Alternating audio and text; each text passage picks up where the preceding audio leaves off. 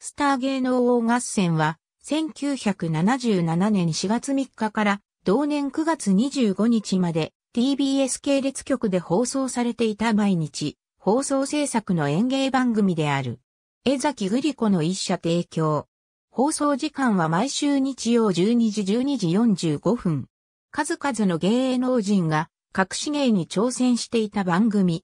当初は桂三氏が単独で司会を務めていたが、後期には有吉淳がアシスタントで参入した。審査員は、花はじめ、大友龍太郎、池坊康子、加瀬国彦、キャサリンが担当。審査員特集の回では、花たち審査員も隠し芸に挑戦していた。番組収録は、毎日放送地里旧放送センター内のミリカホールで公開収録形式で行われていた。音楽はすべてバンドによる生演奏だった。テーマ曲には女性コーラスによるリパブリック参加をアップテンポにアレンジしたものを使用していた。前期には東西対抗戦で審査員5人が最高10点満点で採点し、合計点の多いチームが優勝となり、キャプテンにトロフィーが手渡された。後期には5人による個人戦で1人が今週のチャンピオンとなり、最終回に放送されたグランドチャンピオン大会に進出できた。なお、その他の出演者にも各賞が与えられた。いずれも優勝が決まると天井から紙吹雪が降る。この番組から放送開始時刻を15分繰り上げ12時からになり、放送時間も15分延長し、視聴率の向上を目指した。第1回では、出場者である男性タレントがキャンディーズとピンクレディの歌に乗せて、振り付けに挑戦したり、スペシャルゲストとして山口百恵がシンデレラに仮装するのが見物であった。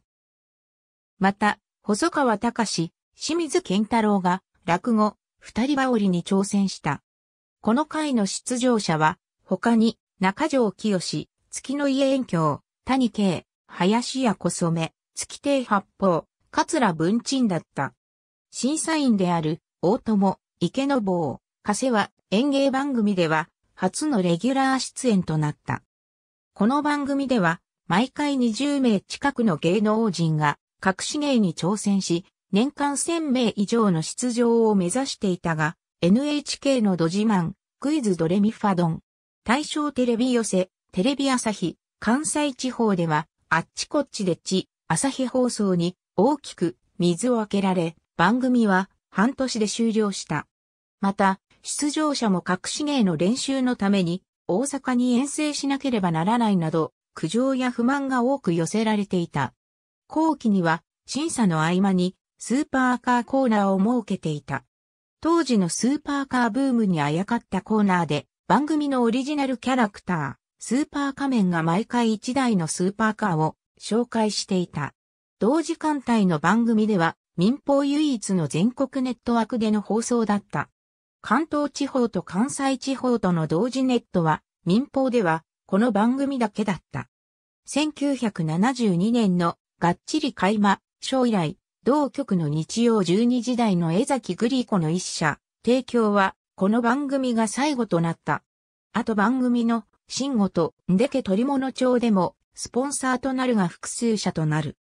放送開始日の同時間帯には、関東地方では、コッキーポップ日本テレビもスタート。5年3ヶ月続いた。ありがとうございます。